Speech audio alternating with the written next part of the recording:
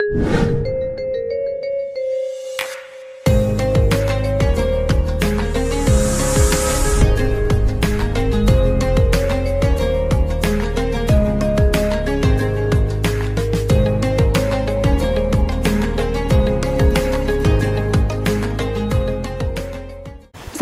warahmatullahi wabarakatuh. Selamat sore sahabat religi. Kita berjumpa lagi dalam program podcast Ramadan edisi kedua hari Kamis tanggal 30 Maret 2023. Ini tanggal tua, Pak. Sak Dundaim. Wah, kayaknya kantongnya udah mulai menipis nih ya.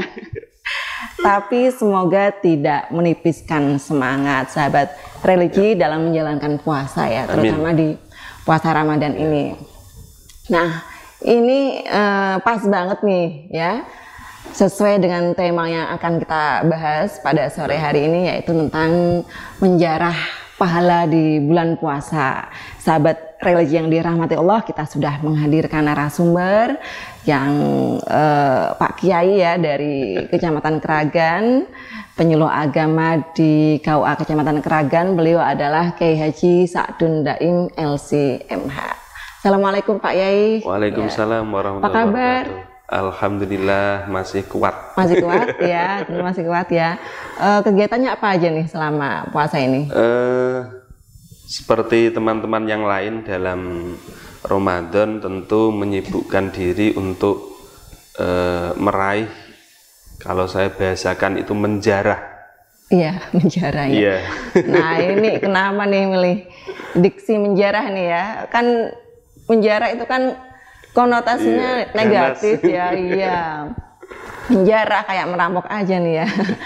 Nah mungkin bisa padahal mungkin bisa memilih diksi yang lebih halus ya seperti mengais uh, uh, apa memborong memboyong atau apalah yang lebih lebih halus gitu. Kenapa ini? Ya betul. Anda memilih kata menjara uh, kenapa kok saya katakan menjarah? Karena ya barang yang dijarah itu pastinya eh, tidak akan berlangsung lama sehingga begitu ada barang eh, banyak yang menghendaki maka kita berusaha merebut jangan sampai kalah dengan teman-teman yang lain itulah royoan kenapa saya gitu ya? Bahasa gunakan istilah royoan. menjarah sehingga eh, kita harus punya motivasi punya rencana jangan sampai saya kalah dengan teman-teman yang lain pada bulan Ramadan tahun ini harus lebih banyak dengan teman-teman yang lain. Sehingga kita gunakan bahasa menjarah yaitu e, tentu menjarah dalam hal kebaikan yaitu dalam menjarah hal kebaikan. Ya menjarah pahala di bulan penuh berkah. Seperti itu Mbak. menjarah pahala di bulan puasa yang penuh berkah iya. ini ya. Ya Uh, lantas tadi uh, jenengan bilang pahala ya. Yeah. Pahala. Apakah amalan yang kita lakukan pada bulan puasa ini ya, amalan baik tentunya ya, Betul. itu pastinya mendapat pahala dari Allah yeah. Subhanahu wa taala. Apakah seperti itu? Karena uh, pahala kan kita sendiri kan tidak tahu ya iya. apakah yeah. ibadah kita itu mendapatkan pahala apa iya, enggak, ya, diterima oleh Allah apa enggak, atau mungkin bahkan tidak diterima oleh Allah seperti itu. Uh, bahkan dikatakan bahwa bulan Ramadan adalah bulan orang Islam. Bulannya orang Islam. Bulannya orang Islam, bulannya orang Muslim. Sedangkan bulan sebelumnya Sa'ban adalah bulannya Kanjeng Nabi dan Rojab bulannya Allah. Karena di dalam bulan Rojab itu Allah memberi kado istimewa kepada orang Islam yaitu perintah sholat atau di tepatnya peristiwa Isra Mi'raj. Ya. Sedangkan di bulan Sa'ban itu dimulainya perintah membaca sholawat yaitu tepatnya pada ayat Innallaha wa malaikatahu dan seterusnya itu eh, pendapat yang sahih mengatakan itu turunnya di bulan Sa'ban. Bulan Sa'ban ya. ya. Sehingga eh, Allah saja membaca solawat dan malaikatnya, maka Allah memerintahkan kepada orang iman untuk membaca sholat kepada kancing Nabi Muhammad Sallallahu Alaihi Wasallam. Sedangkan di bulan Ramadan ini, kenapa dikatakan bulannya orang mukmin? Karena eh, orang yang beriman di dalam bulan Ramadan itu diberi kebebasan eh, bergerak untuk melaksanakan segala jenis bentuk ibadah tanpa ada eh, kalau di barang itu kan biasanya ada tarif harganya. Iya, tarif Baik, harganya. Nah, ya. kalau di bulan puasa ini semua tarif itu dilepas dan tanpa bandrol ya Mbak Ika ya berarti Tanpa ya. bandrol ya. bandrol sehingga mau diberi harga berapapun terserah Iya. seperti itu sehingga di situlah istimewanya bulan Ramadan orang yang beriman mengerjakan ibadah dalam bentuk apa pun itu langsung dengan pemiliknya tidak lagi dengan kasir tidak lagi dengan perantara tetapi antara ya. dia dan Allah Allah. seperti itu. Sehingga kalau sebelum di bulan-bulan selain Ramadan itu ada eh, apa namanya pahala 10, ada eh, dipotong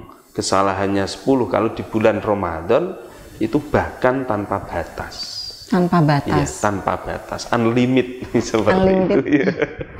Termasuk ibadah sosial. Misalkan eh, hubungannya antar manusia memberikan sedekah, terus membantu Iya. orang lain yang sedang ditimpa kesusahan, itu apakah termasuk pahala-pahala yang diutamakan dalam puasa Ramadan ini? Iya, Tidak melulu sekali. tidak melulu baca Al-Qur'an ya, tidak Iya. melulu ngaji kitab atau hal-hal lain dalam rangka meningkatkan pengetahuan tentang agama Islam. Bagaimana? Iya. Bahkan ada yang mengatakan Ramadan itu bulan sedekah.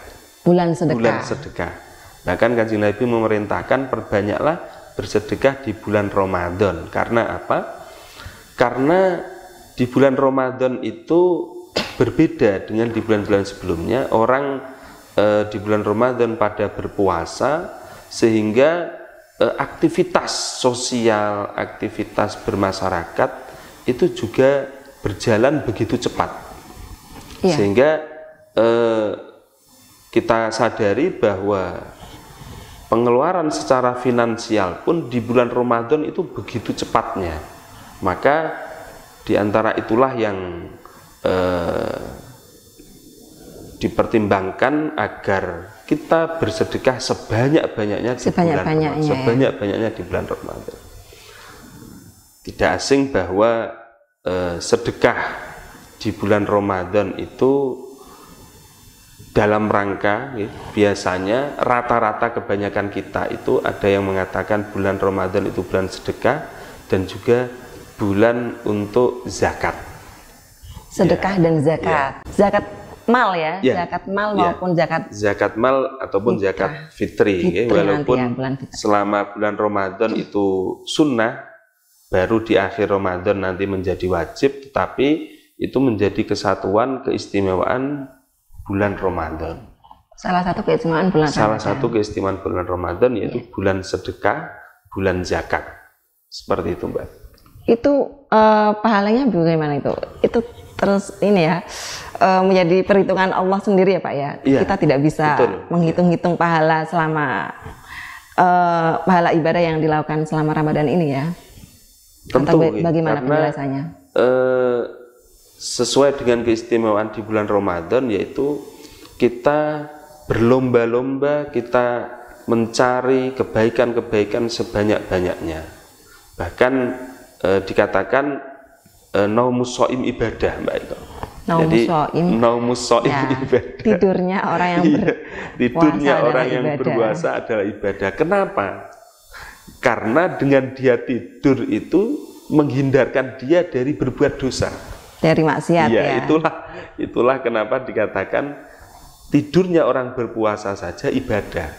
Apalagi ibadahnya. Apalagi Seperti ibadahnya. itu, ya. Dan ibadah tentu tidak tidak hanya ibadah mahdoh ya, seperti membaca Al-Qur'an, sholat, puasa dan lain sebagainya. Segala sesuatu yang bernilai ibadah itu berpahala walaupun kelihatannya amal dunia. Amal dunia, misalkan Jelas nih sekali itu dikatakan mencari nafkah.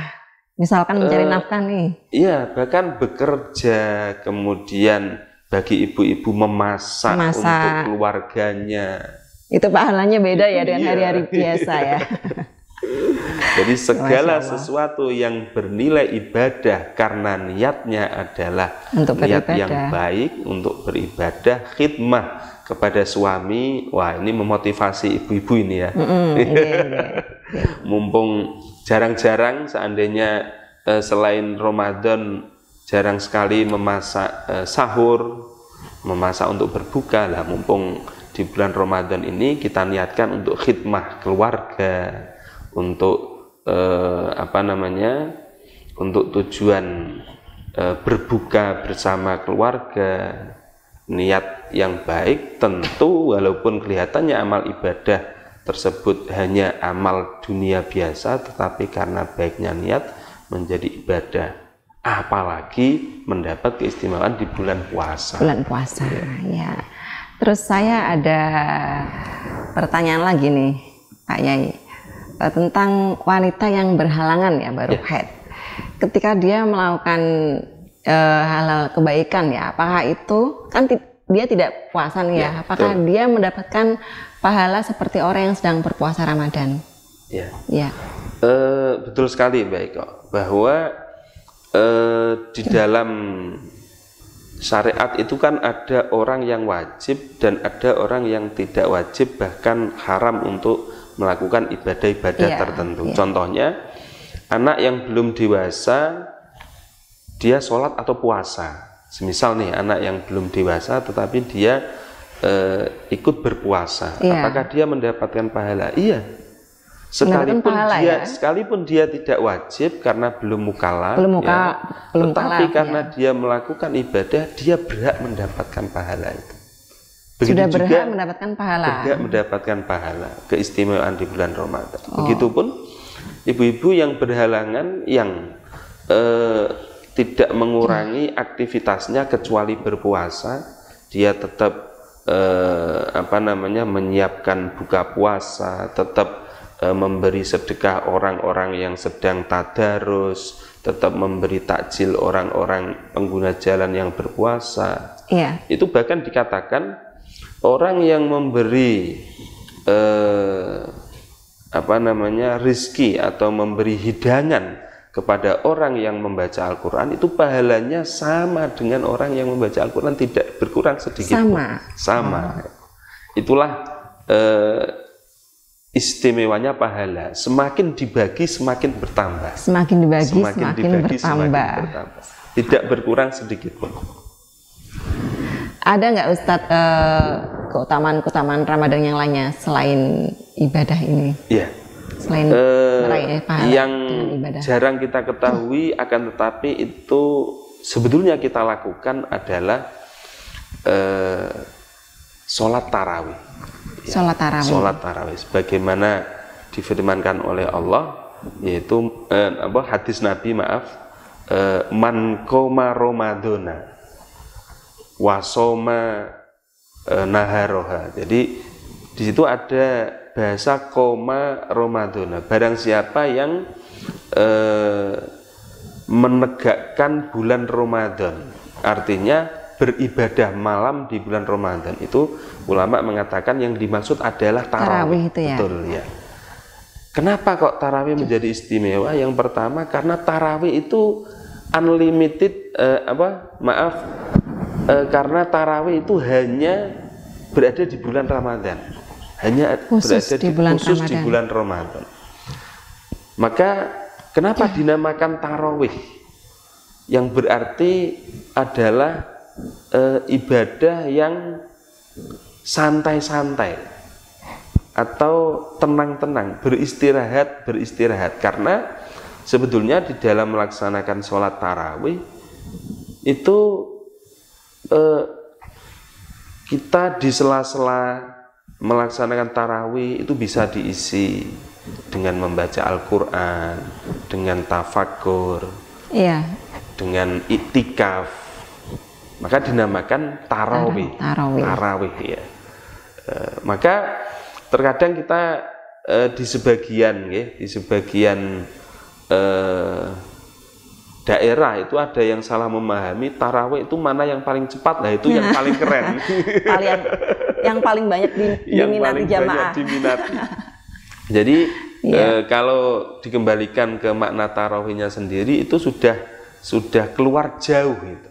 Iya. Iya. Tapi ada-ada memang kebanyakan orang nggak betah ya kalau tarawihnya lama-lama. Betul, Padahal betul, kalau di Masjidil Haram lebih Betul, lama ya. lagi ya. Sehingga eh, tarawih itu menikmati sholat Salat. dengan eh, di sela-selai mengaji atau tausiah atau yang lainnya eh, dalam rangka menghidupkan malam-malam Ramadan. Sebenarnya seperti itu. Iya. Tapi kan ya kebanyakan Ya bahkan di mungkin masalah bisa ya. memberi sedikit pengalaman, Mbak. Ya, waktu itu eh, kebetulan pernah mendapatkan kesempatan eh, sholat tarawih di Tarim Hadramaut, Mbak Iko. nyaman. Iya betul. Itu di sana eh, yang terkenal dengan kota seribu wali, Wali, ya. Itu di sana banyak sekali eh, para habaib-habaib, para ulama-ulama itu eh, benar-benar eh, Menikmati. menikmati tarawih. Sehingga kalau di sini saya belum pernah menjumpai. Eh, menjumpai betul ya. Itu sholat tarawihnya itu terjadwal, walaupun Terjadwal, ya? mungkin nggak tahu asbab nuzulnya atau awal permulanya, tetapi yang saya rasakan itu setiap 30 menit sekali itu masing-masing masjid berpindah-pindah sholat tarawihnya. Semisal nih ya. di masjid eh, Ah, di masjid Jami ya di masjid Jami itu sholat tarawihnya jam setengah tiga malam Iya. terus nanti di masjid Ba'alawi itu tarawihnya jam 11 malam nanti jam persis setelah Isya itu ada salah satu masjid yang melaksanakan tarawih nanti 30, 30 menit berikutnya masjid yang lain masjid yang lain jadi per 30 man- menit itu ganti masjid yang melaksanakan tarawih Oh gitu. Iya. Kok, kok seperti itu? Sehingga- apa alasannya? Sehingga prakteknya itu ada orang yang dalam satu malam, Malam. itu melaksanakan sholat tarawih Di banyak masjid. tiga tempat bahkan sepuluh tempat. Bisa ya. Iya. Ini luar biasa itu berarti berapa rakaat itu dia ikutnya ya? Berarti tinggal mengalihkan satu tempat 20 rakaat. Kalau di Yaman lima tempat berapa berarti rakaat 100 itu? tuh. 20 rakaat. 20 sama dengan sebagian Indonesia Itu ya, sebagian besar di Indonesia. Benar-benar terjadi. Baik, kok. Jadi ada yang mengatakan eh, sholat tarawih 200 rakaat itu terjadi. Terjadi Ya, karena mengikuti sholat tarawih di 10 di banyak tempat. masjid. Nah kalau saya sendiri itu favoritnya yang paling terakhir Mbak Iko. Setengah tiga Setengah malam. tiga malam. Iya. ya. Sekalian sahur ya. Iya. Jadi setelah setelah sholat isya itu nyantai dulu, Nyantai dulu. Ya, nyantai dulu di asrama gitu, Eh, ngobrol-ngobrol sama teman-teman bahas apa gitu.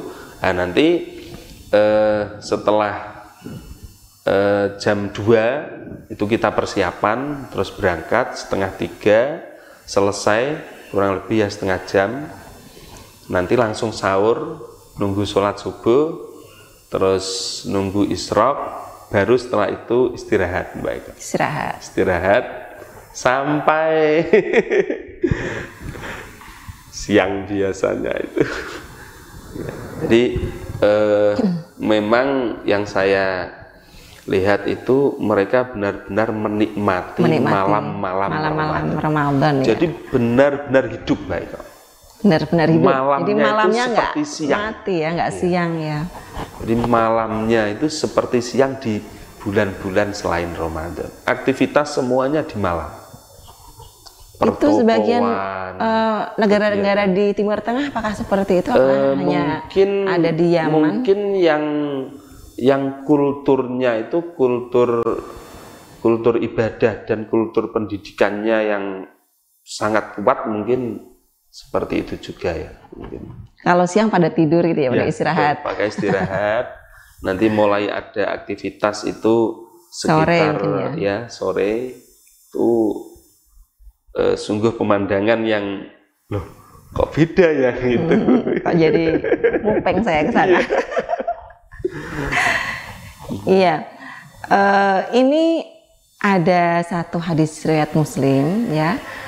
yang kemarin saya buka-buka buku ada hadis uh, berbunyi seperti ini.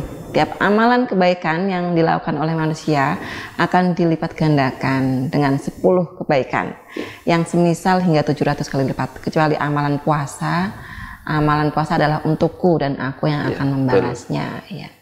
Ini penjelasannya seperti apa Pak Yai bisa dijelaskan? Uh, sebetulnya tidak jauh berbeda ya, dengan yang awal-awal Mbak Iko sampaikan bahwa uh, satu ibadah itu dilipat gandakan 10 pahala bisa sampai 700 bukan hanya itu saja tetapi eh, bisa mengurangi eh, dosa dengan kelipatan yang sama mengurangi dosa dengan mengurangi kelipatan dosa yang dengan sama. kelipatan yang sama tentu tergantung dengan seberapa kita eh, yakin seberapa kita eh, ikhlas melakukan ibadah tersebut Berbeda dengan puasa, bahkan puasa itu eh, bau tidak sedapnya orang berpuasa itu saja bagi Allah itu lebih wangi daripada minyak misik. Minyak misik. Ya, itu menandakan bahwa memang orang yang berpuasa itu benar-benar orang yang luar biasa. Kenapa tidak? Kita mungkin tidak tidak lepas pikir bahwa kenapa ya orang itu kok mau berlapar-lapar, Menahan lapar. Menahan lapar. Itu kalau tidak karena takwa dan menuruti perintah Allah, Allah. itu tidak tidak mungkin.